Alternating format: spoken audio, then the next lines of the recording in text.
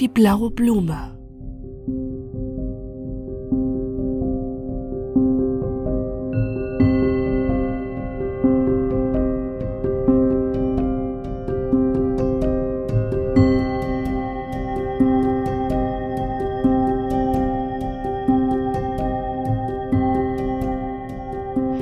Eine Frau hatte drei Söhne, mit denen lebte sie in Frieden und Eintracht. Und als ihr Mann früh gestorben war, hielt sie alle drei dazu an, ihr in der kleinen Wirtschaft zu helfen. Der Älteste war am liebsten auf dem Strom und wurde ein geschickter Fischer wie sein Vater. Der zweite ging schon in der Morgenfrühe aufs Feld, rodete, pflügte und säte und hielt den Acker so in Ordnung, dass sie immer ihr täglich Brot hatten. Nur der Jüngste war ein stilles und scheues Kind, zu keinem Handwerk recht geschickt. Und so kam es bald, dass die Brüder ihn mit spottenden Worten wegschickten, wenn er auf den Strom oder Acker seine Hilfe antrug. Dann ging er traurig zur Hütte zurück, machte sich im Garten zu tun oder setzte sich auch an den Webstuhl der Mutter, wo unter seinen Händen die kunstvollen Gewebe entstanden. Du hättest doch ein Mädchen werden sollen, sagte die Mutter dann zwischen Scherz und Ernst, strich ihm über das schlichte Haar und wusste nicht recht, ob sein Wesen ihr nun lieb oder leid war. Die beiden Brüder aber begannen bald Kreuzer und Kreuzer zusammenzulegen, und je besser es mit ihrer Arbeit voranging, desto unermüdlicher wurden sie in ihrem Tagewerk. Und sie blickten mit scheelem Auge auf den Jüngling, der, wie sie meinten, sein Brot umsonst aß und den sie am liebsten aus dem Hause gehabt hätten, damit er als Hütejunge oder Knecht für sein eigenes sorgte. Aber die Mutter ließ es nicht zu und sagte, jeder muss nun sein, wie Gott ihn geschaffen hat, und wer weiß, ob nicht noch etwas Rechtes aus ihm wird. Da lachten die beiden und sagten, ja, ein rechtes Kuckucksjunges wird aus ihm werden, das sehen wir jetzt schon. Da machte die Mutter sich Sorgen, wie es wohl werden sollte, wenn sie einmal sterben musste. Aber sie fand keinen Ausweg und ließ es also so gehen, wie es ging. Und wenn sie ihren Jüngsten fragte, ob er vielleicht in die Königsstadt möchte, wo es kunstvolle Handwerke gab und wo er vielleicht einen eigenen Webstuhl aufstellen konnte, schüttete er den Kopf und sagte, ich muss wohl bei dir bleiben, denn es hat mich sonst niemand lieb in der Welt. Dann küsste sie ihn sprach ihm gut zu und meinte, es werde sich schon alles fügen. Bald danach aber, im nächsten Frühjahr, kam ein großes Unglück über sie alle. Ein großer Regen fiel, fast 40 Tage lang, und der stille Strom wurde ein wildes Meer, bis er eines Tages über die Ufer stieg, die Saat auf dem Acker fortriss und immer höher anschwoll, bis er das Herdfeuer verlöschte. Da mussten sie die ganze Nacht bis zu den Hüften im kalten Wasser stehen, damit sie das Vieh und ihre Habe retteten. Und als das Wasser sich verlaufen hatte, war die Mutter gelähmt und lag Tag und Nacht auf ihrem Lager, ohne ihre Füße rühren zu können, und weinte still vor sich hin und wäre am liebsten gestorben, um ihren Söhnen nicht zur Last zu fallen.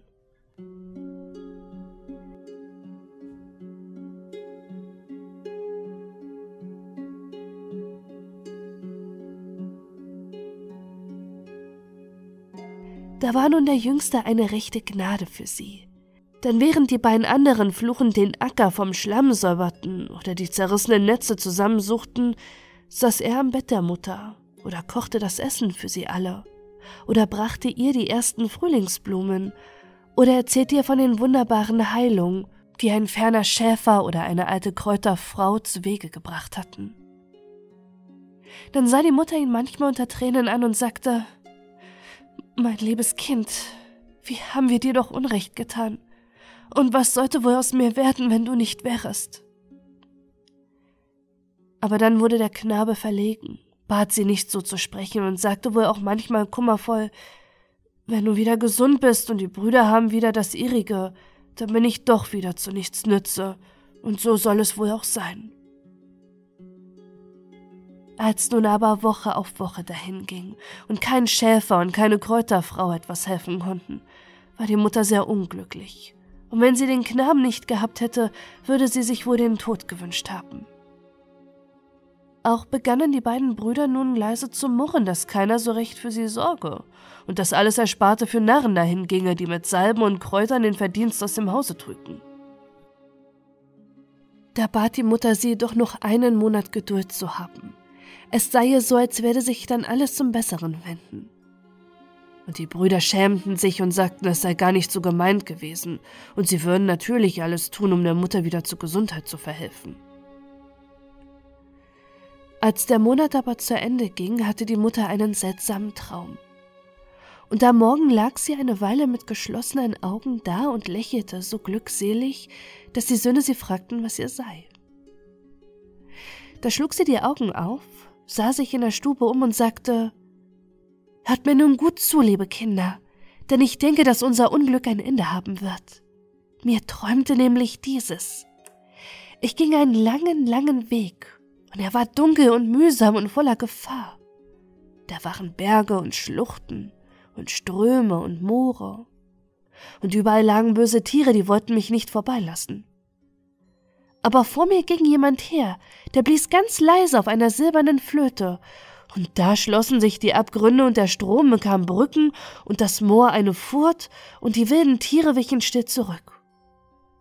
Und endlich kamen wir an eine Waldwiese, die war so still und schön, wie ich es noch niemals gesehen habe, und mitten auf ihr wuchs eine einzige blaue Blume. Die war größer als alle Blumen, die wir kennen, und sie leuchtete so herrlich, dass uns die Augen übergingen. Und an dieser Blume führte ein schmaler Pfad durch das Gras vorbei, und auf ihm kamen alle Kranken und Siechen und Elenden dieser Welt gegangen, Greise und Kinder, Frauen und Mädchen, und sie neigten sich einmal zu der Blume nieder und atmeten ihren Duft ein. Und danach richteten sie sich auf und alle Krankheit fiel von ihnen ab, und sie gingen davon, als hätten sie niemals ein Leid getragen.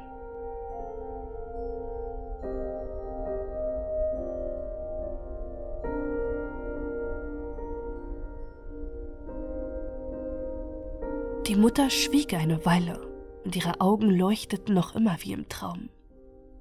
Und erst nach einer Weile sagte sie Meint ihr nicht, liebe Kinder, dass es ein schöner Traum war? Da meinte der zweite der Söhne, dass er gewiss schön sei, aber doch eben nur ein Traum, und von Träumen sei noch niemand gesund geworden. Der Älteste aber fragte, wer denn eigentlich von ihr hergegangen sei und die Flöte gespielt habe. Da sagte die Mutter, ich kann mich nicht mehr erinnern, es war alles im Halbdunkel und verschwommen, aber es ist mir so, lieber Sohn, als ob du es gewesen wärest. Da erschrak der Knabe, denn er dachte schon längst wieder an seine Netze und wie er seinen Verlust einholen könnte. Und er sagte, da wirst du dich wohl täuschen, liebe Mutter, denn es liegt ja nicht in meiner Art, eine Flöte zu spielen und wilde Tiere zu beschwören. Aber die Mutter sah ihn eindringlich an und sagte, es kann sein, lieber Sohn, es kann auch nicht sein. Aber wenn ich dich nun von Herzen bitte, mir auf der Schubkarre ein Lager zu machen, um mich zu der Wiese der Genesung zu fahren, Würdest du es mir dann verweigern? Da wusste er nicht, wohin er blicken sollte. Und schließlich sagte er in seiner Not, aber wo ist sie denn, diese Wiese der Genesung? Das weiß ich nicht, sagte die Mutter leiser. Auch als ich dich gebar, wusste ich nicht, ob es mein Tod oder mein Leben sein würde, und wir müssen wohl fahren, bis wir sie finden. Da murmelte er noch etwas von seinen Netzen und dass die beste Zeit für die Fische jetzt komme. Aber als die Mutter sagte, so habe sie sich doch vielleicht getäuscht und es sei ein anderer im Traum gewesen, da schämte er sich doch und sagte, morgen mit dem Frühsten könnten sie aufbrechen. Und er kenne weder Abgrund noch Strom noch wildes Tier, von denen er sich fürchtete. Der zweite Sohn konnte seine Freude kaum verbergen, dass dies harte Werk an ihm vorübergegangen sei aber der Jüngste schlich sich still aus der Stube, versteckte sich im Schilf und saß dort traurig, bis es dunkelte. Am Morgen nahm die Mutter Abschied, und sie sahen ihr lange nach, wie der Älteste mit seinen starken Schultern die Karre durch die Heide schob und endlich im Walde verschwand. So fuhren sie Tag um Tag, und nachts ruhten sie bei mitleidigen Leuten. Am achten Tage aber wurde der Sohn ungeduldig und seine Arme schmerzten ihn, und er fragte, wohin es denn nun eigentlich führten. Fahre nur zu, sagte die Mutter bittend. Gott weiß alle Wege. Und am Abend kehrten sie bei einer Hütte ein. Die gehörte einer alten Frau und sie ließ sie am Feuer sitzen und fragte, weshalb sie so über Land führen. Da erzählte die Mutter ihren Traum, und die Frau sah lange vor sich hin, bis sie endlich zu dem Knaben sagte Es könnte wohl sein, dass ich euch ein bisschen helfen kann. Nach drei Tagen werdet ihr an einen großen Strom kommen, und am anderen Ufer werdet ihr ein Schloss sehen. Dann musst du deine Mutter in den Schatten bringen und um die Abendzeit durch den Strom schwimmen. Am anderen Ufer wird man dir sagen, was du zu tun hast, und du musst es gerne tun, mit fröhlichem Herzen. Und wenn du es getan hast, musst du deine Hand aufhalten und du wirst deinen Lohn empfangen. Aber du darfst dich nicht verweilen, so verlockend es auch sein mag für dich, und du darfst keine Fragen stellen. Hast du mich gut verstanden? Da versprach der Knabe alles und war froh, dass die Reise nun bald ein Ende sein würde und er wieder zu seinen Netzen gehen könnte. Am dritten Tag fanden sie alles, wie die Frau gesagt hatte. Der Knabe schob die Karre in den Schatten einer Weide. Hast du auch alles behalten? fragte die Mutter. Da lächelte er überlegen und sagte, ich bin noch nicht dein Jüngster. Und darauf legte er seine Kleider ab und schwamm in den Strom hinaus. Am anderen Ufer ging er langsam bis an das große Tor in der Schlossmauer, blickte in den Garten. Aber da erschrak er, denn auf der großen Rasenfläche lagen wohl hundert Kranke, Sieche und Sterbende, die waren vom Aussatz befallen, und ihr Leib war von Geschwüren zerfressen. Sie lagen ganz still, ohne zu klagen, aber ihre fiebermatten Augen waren alle nach ihnen hingewendet, so voller Inbrunst und Hoffnung, als wäre er der Engel der Erlösung. Er aber blickte voller Grauen auf sie und er meinte, dass die Frau ihn betrogen habe, nur um ihre Freude daran zu haben. Aber als er noch unschlüssig dastand, kam ein Mädchen zwischen den Kranken hindurch und auf ihn zugegangen, grüßte ihn freundlich und sagte, Sei willkommen und sage, ob du tun willst, was ich dich heiße. Das wollte der Knabe tun. So nimm diese Kranken, sagte das Mädchen, eine nach dem anderen in deine Arme, trage sie zum Strom hinunter und wasche sie, denn ich bin zu schwach dafür. Da graute es dem Knaben, aber er erinnerte sich an sein Versprechen und begann mit seinem Werk. Die Kranken waren so leicht wie eine Feder, aber ihre Wunden rochen nach Verwesung, und es war ihm so zumute, als müsse er tote Fische über Bord werfen.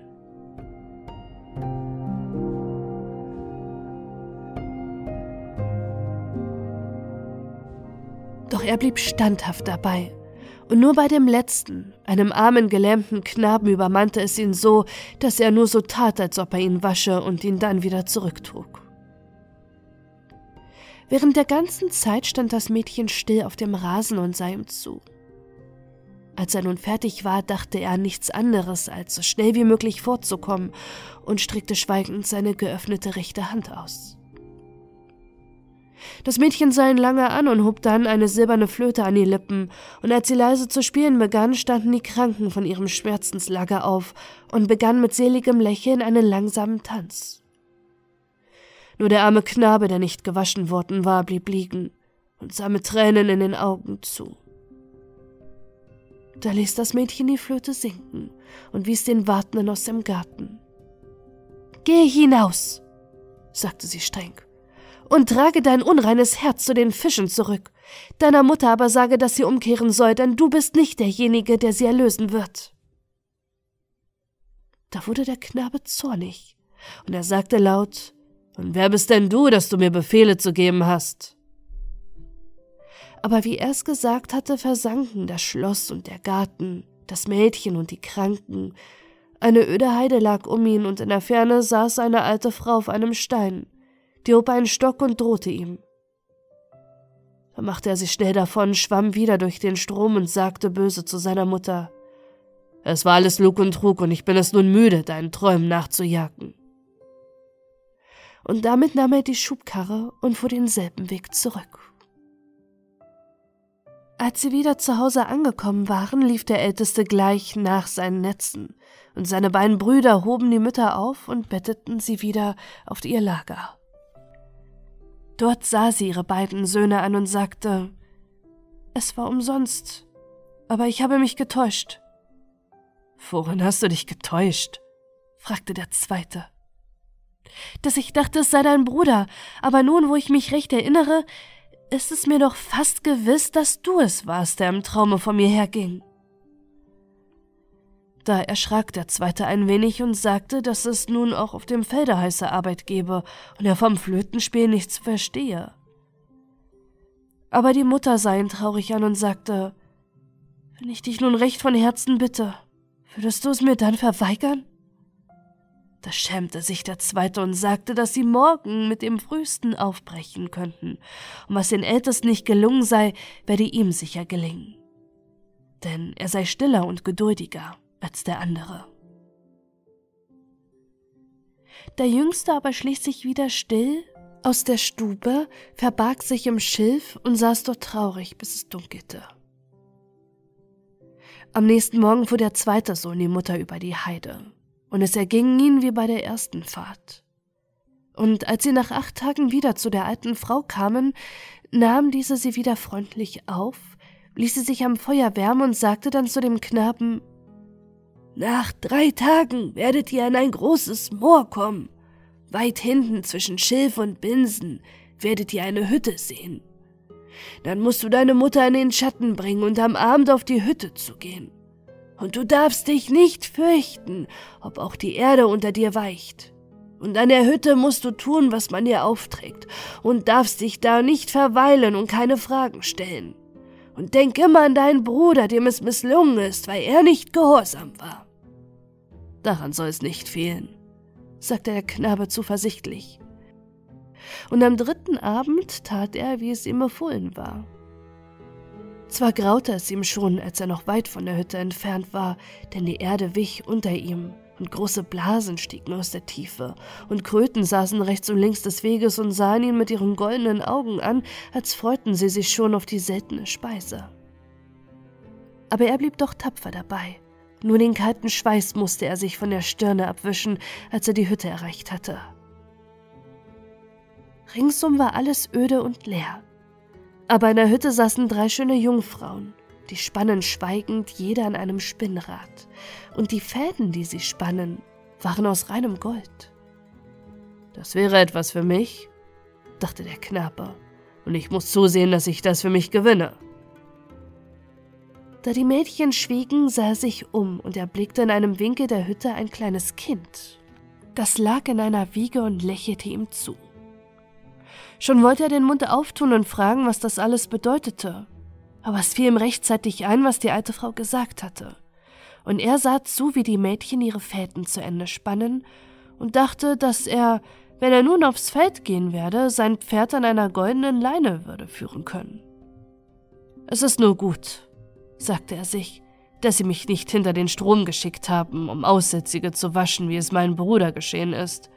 Hier sieht mir die Sache sehr viel leichter aus.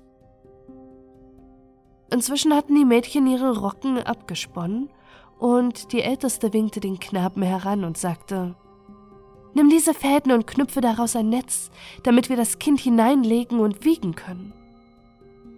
Da wunderte er sich machte sich aber fleißig an die Arbeit, denn er sah, dass die Mädchen an einen Tisch mit den herrlichsten Speisen zubereiteten und Krüge mit goldenem Wein dazu setzten. Die Arbeit ging ihm leicht von der Hand, denn er hatte seinem Bruder oft bei den Netzen geholfen. Nur den letzten Faden schob er heimlich in die Tasche, falls es ihm nicht gelingen sollte, das Netz mit sich zu nehmen. Als er fertig war, hingen die Mädchen das Netz über einen Haken in der Decke, legten das Kind hinein und wenn sie es sanft anstießen, schwang es leise hin und her durch den Raum. Du kannst dich nun an diesen Tisch setzen, sagte die Älteste wieder, und essen und trinken, was du begehrst. Aber vergiss nicht, die goldene Wiege zu schaukeln, sonst ist alles umsonst, was du getan hast. Wir drei haben noch draußen zu tun. Da versprach der Knabe alles, und kaum sah er die Mädchen über das Moor gehen, als er sich an den Tisch setzte und wie ein Drescher alles verschlang was sein Magen nur fassen konnte. Noch nie hatte er so herrliche Dinge gegessen, und er wollte seiner Mutter gerne ein bisschen was davon mitnehmen.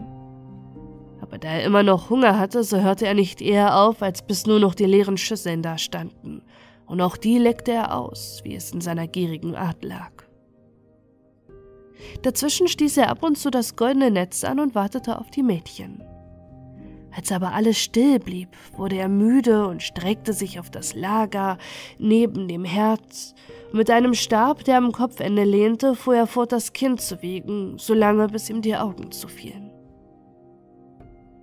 Er erschrak, als die Morgensonne ihn weckte und die Mädchen schweigend vor seinem Lager standen. Ach, sagte er dreist, ein bisschen bin ich wohl eingenickt, aber es war schwer genug, die Mutter zu fahren. Kranke sind so schwer wie ein Mühlstein. Die Mädchen sagten noch immer nichts, und die Älteste reichte ihm schweigend eine kleine silberne Flöte und ein Kraut, das duftete nach Wermut. Da war er sehr froh. Er war nun überzeugt, dass er die Blume finden würde. Das Kraut schob er achtlos in die Tasche und da niemand ein Wort sprach, machte er sich davon und lief so schnell er konnte über das Moor zurück. Die Kröten lagen noch immer da und es war ihm, als blickten sie ihm höhnisch nach. Seine Mutter fragte ihn traurig, weshalb er so lange ausgeblieben sei und hätte sich doch nicht verweilen sollen. Aber er lachte nur übermütig, zog die Flöte aus der Tasche und setzte sie an den Mund.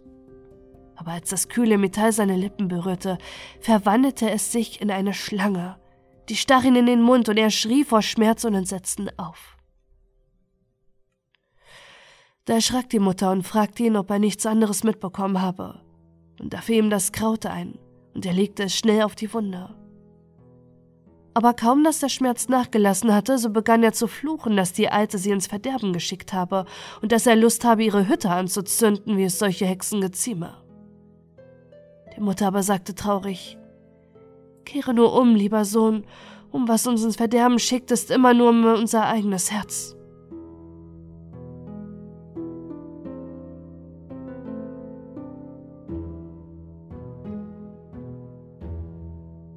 So kam sie wieder zu Hause an. Und als die beiden Brüder ihn fragten, welches Missgeschick ihn betroffen habe, sagte er laut, Gar keines, und griff in die Tasche, um den goldenen Faden herauszuziehen aber was er herauszog, war nichts als ein Pferdehaar und der Älteste lachte ihn aus. Als die Mutter aber schlaflos und traurig auf ihrem Lager ruhte, kam der Jüngste leise zu ihr, kniete bei ihr nieder und sagte, Weine nicht, liebe Mutter, morgen in der Früh wollen wir beide uns aufmachen und das dritte Mal wirst du dich nicht getäuscht haben. Da umfing die Mutter ihn mit aller Zärtlichkeit und sagte, Liebstes Kind, vergib mir nun, dass ich blind war und lass es mich nicht entgelten. Er aber bat sie nicht so zu sprechen, und am anderen Morgen brachen sie auf. Die beiden Brüder aber spotteten und meinten, am Abend wollten sie ihn am Waldrand abholen, denn bis dahin werde er wohl doch kommen mit seinen starken Armen. Der Knabe hatte sich wohl etwas gefürchtet, aber wie er die Karre aufhob, war sie leicht wie eine Feder und den ganzen Tag lang plauderte und sang er, so dass die acht Tage ihn vergingen wie im Traum. Die alte Frau aber war so freundlich, dass sie nicht wusste, was alles ihnen Gutes tun konnte. Und als sie wieder aufbrachen, segnete sie den Knaben und sagte, Sei nur so gut und still wie immer, eine andere Wissenschaft brauchst du nicht von mir. Nun hatten die Brüder ihm nichts von ihren Erlebnissen erzählt und ihm nur arglistig geraten, er solle immer ordentlich fragen. Daran habe es bei ihnen gefehlt. Die Mutter aber wiederholte ihm den Rat der alten Frau. Und als sie am Strom angekommen waren, küsste sie ihn und ließ ihn gehen. Er traf alles an wie der älteste Bruder, und es erbarmte ihn den Kranken, und er wusch sie sorgfältig, als ob er seine Mutter unter den Händen hielte. Da bedankte sich das Mädchen, streichelte ihm die Wangen und reichte ihm die silberne Flöte. Sei nur unverzagt, sagte sie, es wird ja nichts fehlen. Und auch in der Moorhütte traf er alles an, wie der zweite Bruder es getroffen hatte.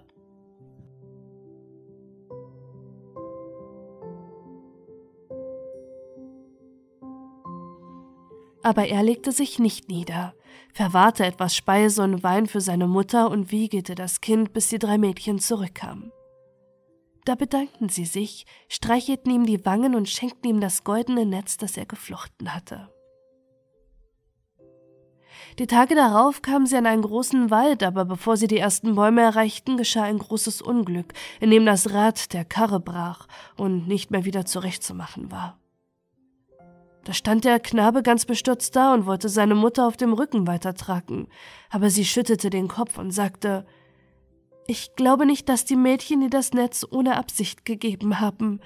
Lass mich nun hineinsteigen und sehen, was daraus wird und als sie mit beiden Füßen hineingestiegen war und er es aufzuheben versuchte, war es so leicht wie eine Feder, und er nahm die Mutter behutsam auf den Rücken und ging mit ihr in den Wald hinein. Da war es nun so, wie es die Mutter geträumt hatte.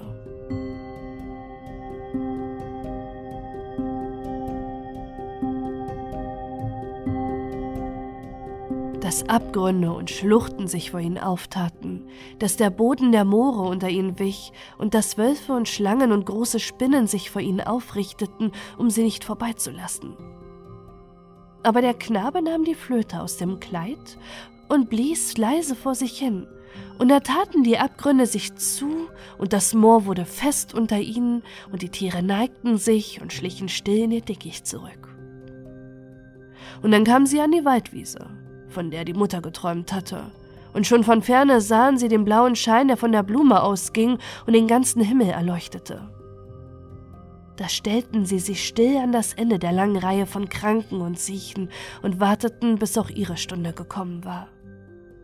Und als die Mutter auf ihre kraftlosen Knie sank und ihr Gesicht über die Blume neigte und ihren süßen Duft einatmete, richtete sie sich glückselig wieder auf und alle Krankheit war von ihr abgefallen, und sie ging mit dem Knaben davon, als hätte sie niemals ein Leid getragen. Als sie aber aus dem Walde herausgekommen waren und ein wenig rasteten, sah die Mutter den Knaben an und sagte Nun sind mir meine Augen aufgegangen, und ich bitte dich, mir zu vergeben, dass ich gering von dir gedacht habe, weil ich dein Herz nicht erkannt hatte. Der Knabe wollte es aber nicht hören. Lass nur gut sein, liebe Mutter, sagte er. Wir wollen nun ein schönes und stilles Leben führen, und ich werde nicht mehr im Schilf zu sitzen und traurig zu sein brauchen. Und als sie nach Hause kamen, verwunderten die Brüder sich über alle Maßen und meinten schließlich zu ihrem Trost, dass es nicht mit rechten Dingen zugegangen sei. Die Mutter aber sah sie eine Weile an und sagte dann es geht überall mit rechten Dingen zu, liebe Söhne, wo ein reines Herz das Dunkel besiegt. Und da ihr noch jung und stark seid, so wäre es gut für euch, wenn ihr etwas in die Welt ginget, um dort zu lernen, dass es noch mehr gibt, als Gulden auf Gulden zu häufen. Und wenn ihr das gelernt habt, sollt ihr wiederkommen und bei uns leben. Da war es den Söhnen zuerst nicht recht, den Acker und den Fischfang aufzugeben. Aber als die Mutter jedem von ihnen einen goldenen Faden aus dem Netz gereicht hatte, damit sie einen Anfang hätten, war es ihnen recht zu zeigen, dass sie noch mehr könnten als eine Traumblume finden. Die Mutter aber blieb mit ihrem Jüngsten in der Hütte, und es gelang ihnen alles wohl, was sie begannen.